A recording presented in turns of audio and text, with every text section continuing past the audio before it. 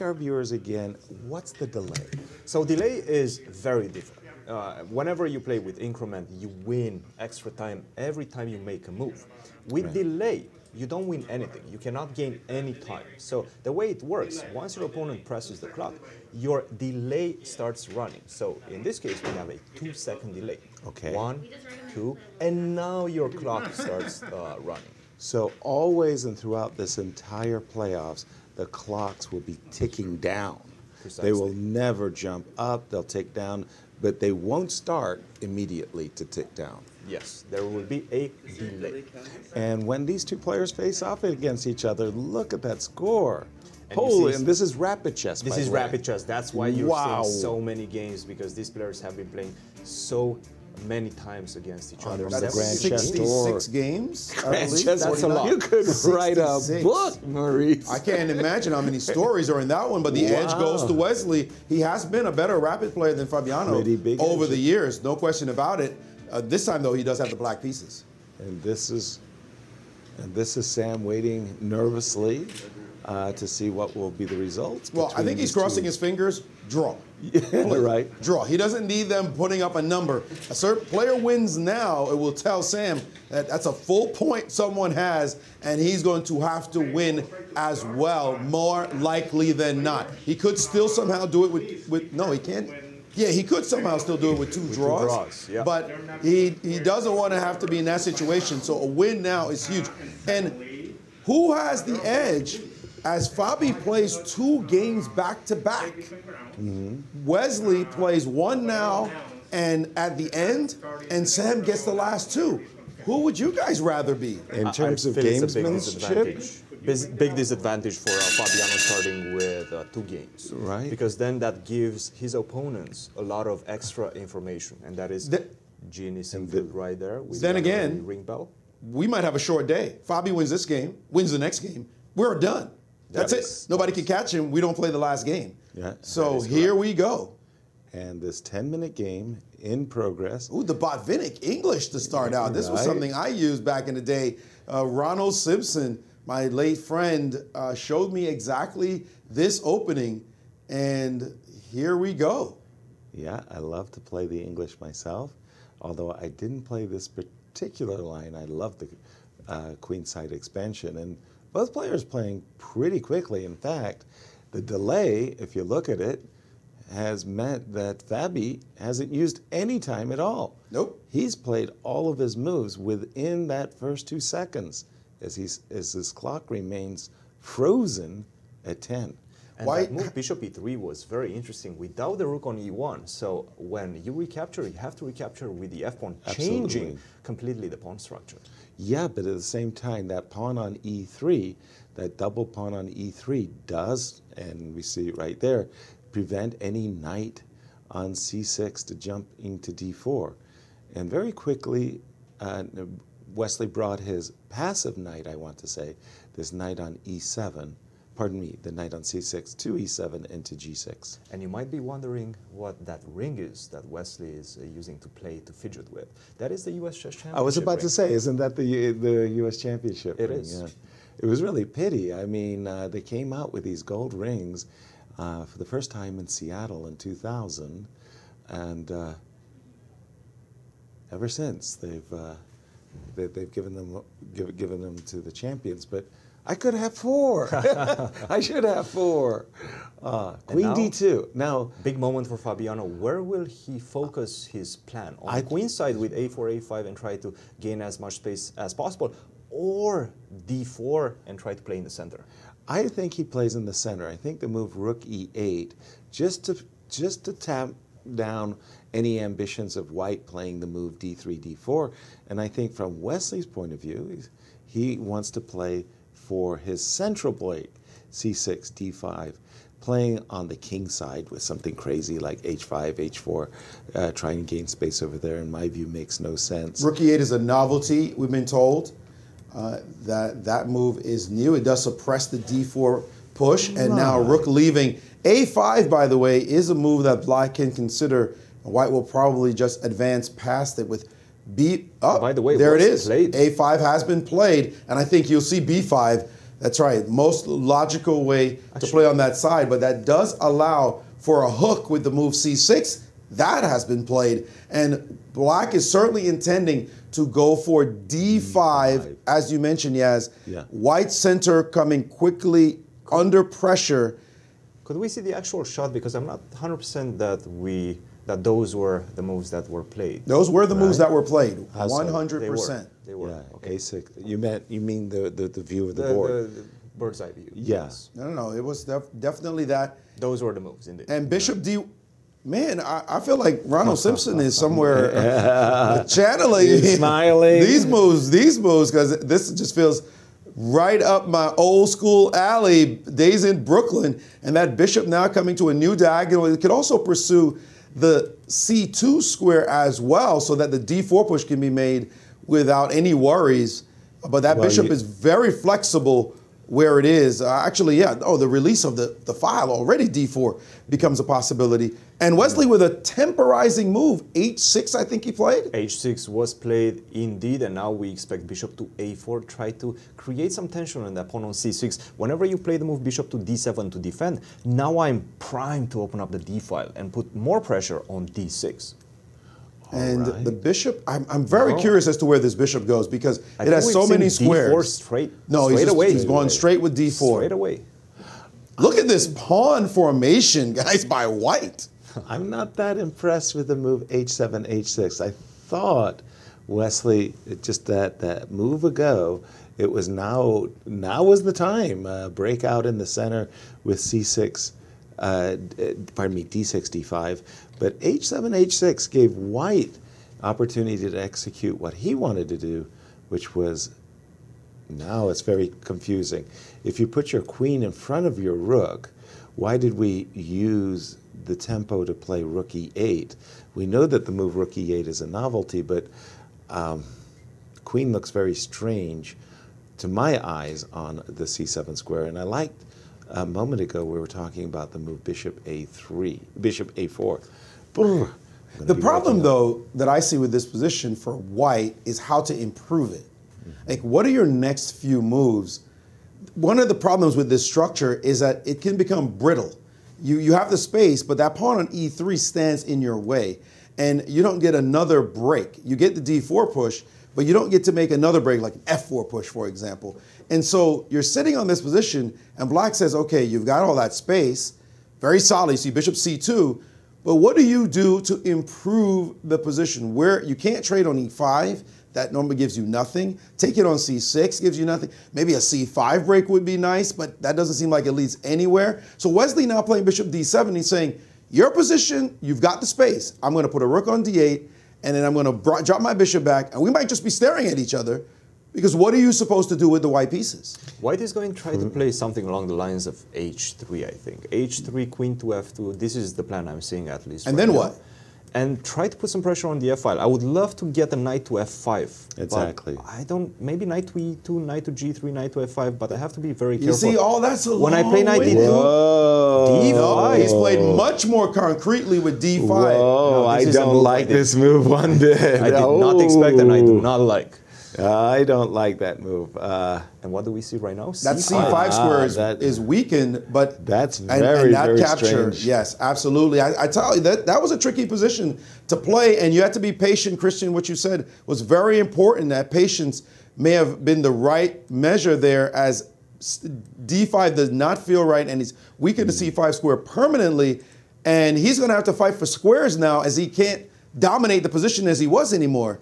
Wesley actually has an open file and a key square on C5 to work with. yeah, in my view, definitely a mistake by Fabi. He should have played A4, Bishop D3, King G1, Knight G1, Knight E2, Knight G3, Knight F5, and brought the Knight to F5. Just keeping all the tension.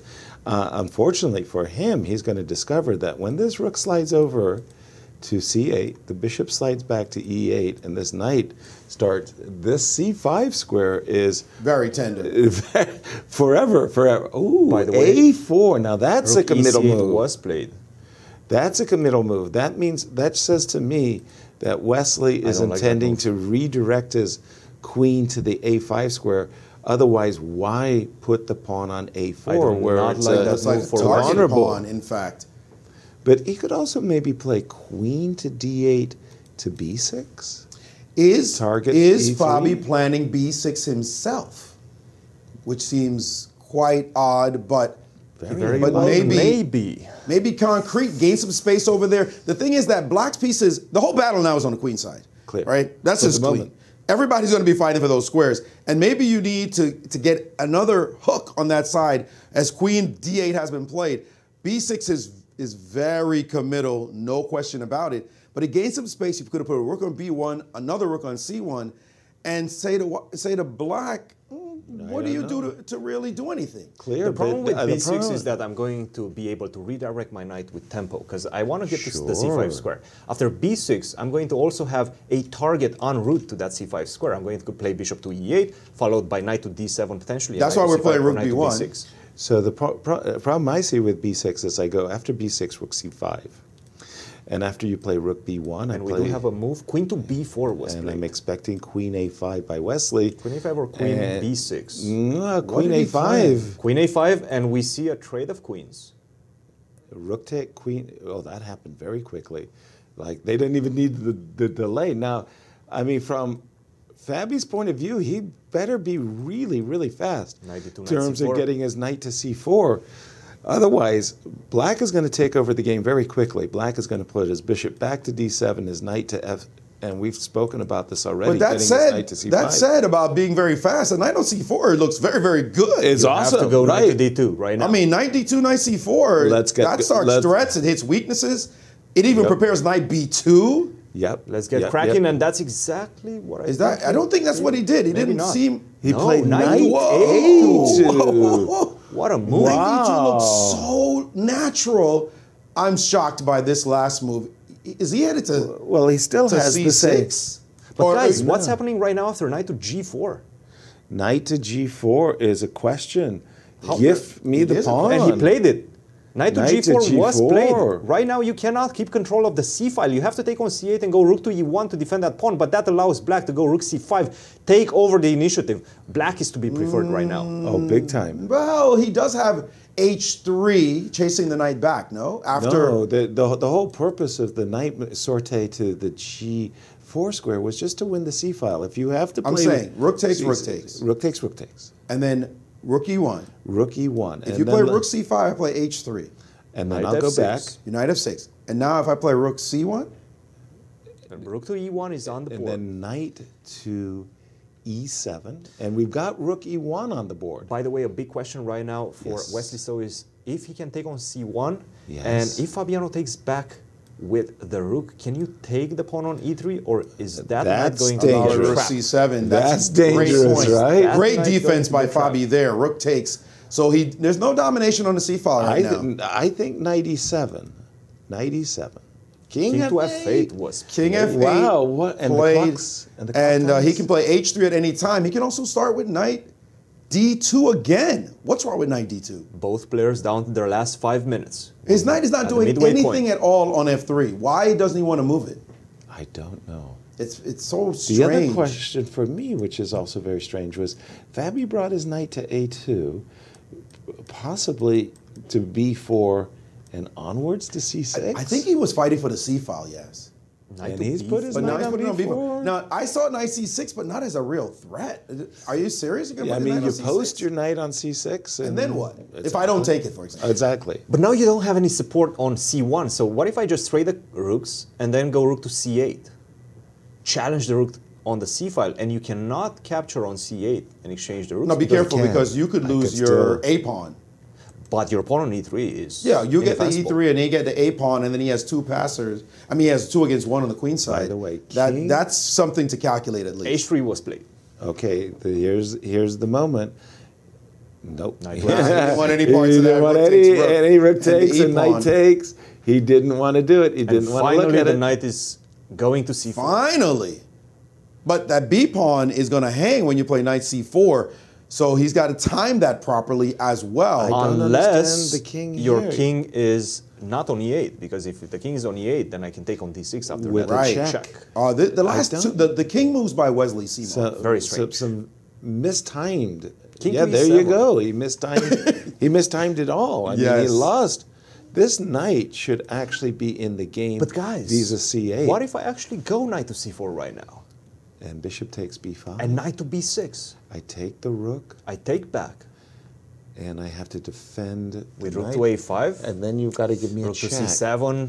I You feel might like have I'm the initiative. getting Ooh, in. that's good. I'm getting in. That looks worth it. He's looking at it right now. They're down to four minutes and 35 seconds for Wesley, 357 for Fabi. So Fabi, he's got a great chance here. Knight c4 looks excellent. Looks at least mm-hmm. dynamic. With you know why? Because the two knights on the king side are, Are not in play. They're stuck. They're they're over there for now, and you have a full concentration of pieces on the other side. He's definitely analyzing knight to c4 to see if it's worth it. How else does he improve on that side? So knight to c4 one more time. If I take on b5, I go knight to b6. knight to b6, I take on c1, you I take, take on back on c1, C1.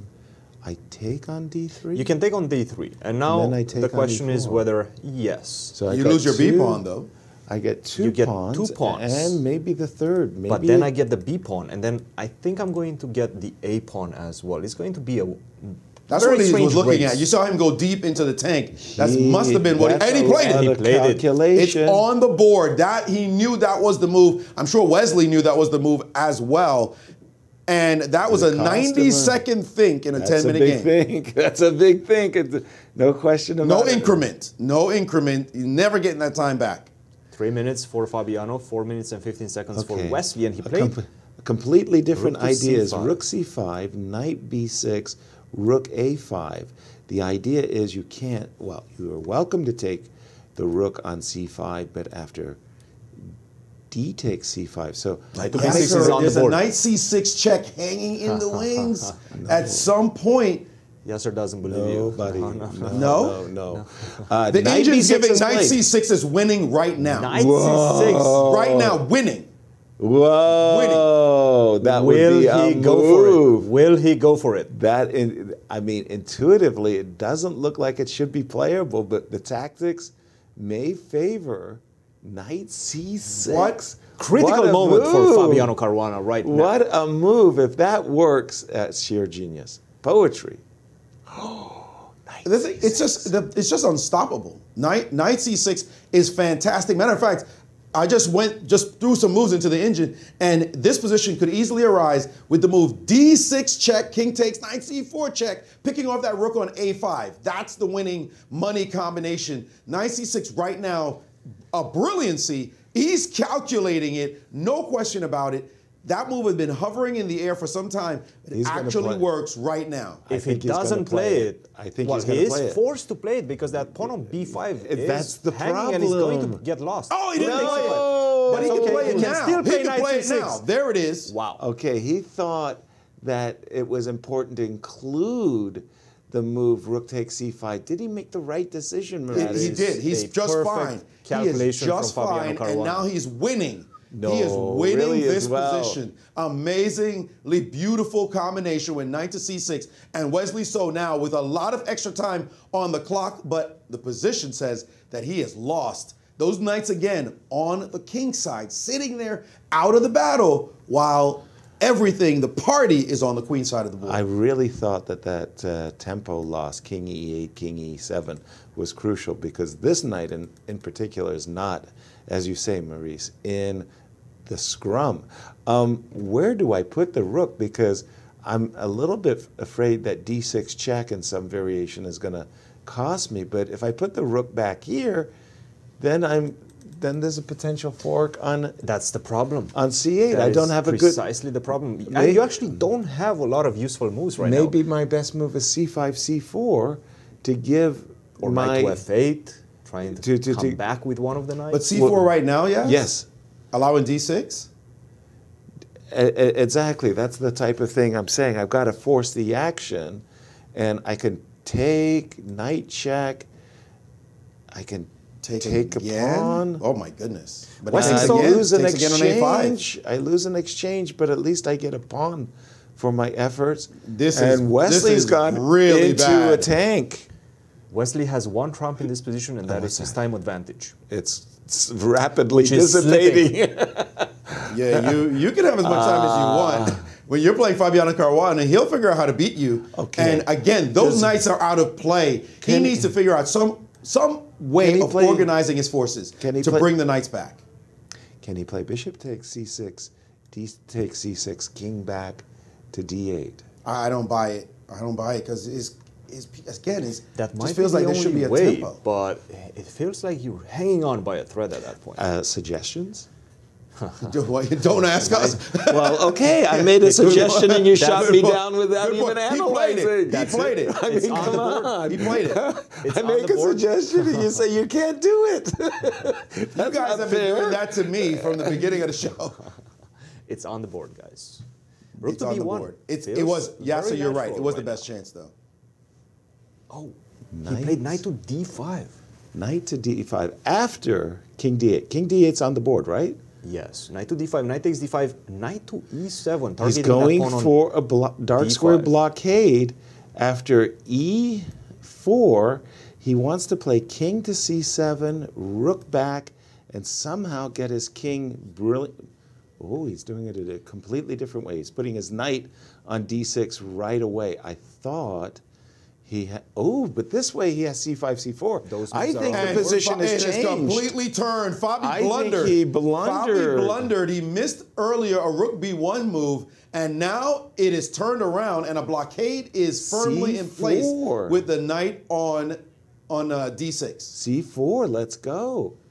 This could be one of the biggest turnarounds because we've got rook b5 in the position too, as well as knight b5. F5 is also a move at that point. F5 is a Right move now. because of rook takes d5. You're absolutely right. If you take right. on F5, I take on D5. You have to defend that pawn on E4 with the king. I king to really would like to play He's king going for it. c7 first, but F5 he didn't do is it. on the board. He played f5 first. Your move, nice, nice, nicely spotted. So what if you go king to E3 right now? King to e3. I'm really worried that one of these days I'm just going to go after your a3 pawn. 35 seconds left for Fabi. He knew he had a great position and he has He blown might- it. And now what? He's got to figure out how to not lose as he's never getting extra time on the clock. Time is down. 23 seconds and he is he's frozen. What? You've got to get in flow. And And he's he's, finally played E3. king e3 and king c7, stopping any rook b8. Rook b8 is now off The table. of- off the table. Right. What is he supposed to do with the white pieces? He A loss for rook b4. Fabiano Caruana Takes, with the white pieces takes. is almost instant elimination. Exactly. And c3, that was the big money move right there because again, uh, he's threatening he's threatening rook takes d5 guys. You have to make a Four move. seconds, three, Three. two, one. He's got to make a move, and he's got one second for the rest of the Oh game. He's got to play instantly now Play or lose now. on time.